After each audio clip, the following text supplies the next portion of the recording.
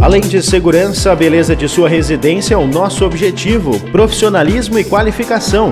Pequenos e grandes projetos são nossa especialidade. Serralheria Janoski, ligue agora 519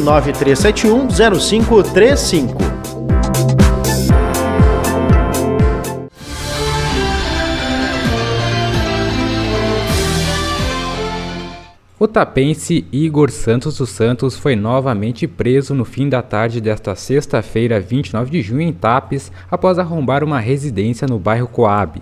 Conforme as informações, o indivíduo foi abordado pelos policiais no bairro Vila Nova, na localidade da ilha, com os objetos furtados da residência.